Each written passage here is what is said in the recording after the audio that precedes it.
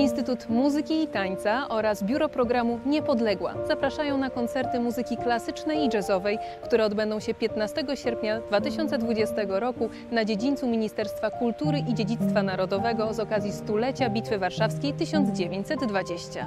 Specjalnie dobrany program pozwoli nam przenieść się w czasy, w których żyli i tworzyli m.in. Ignacy Jan Paderewski czy Karol Szymanowski. Będziemy mogli wysłuchać także współczesnej jazzowej interpretacji ich twórczości.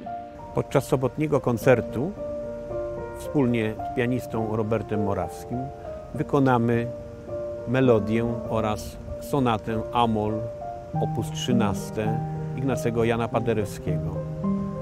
W utworach tych dominuje dramatyzm przeplatany z piękną tkanką poetycko-liryczną.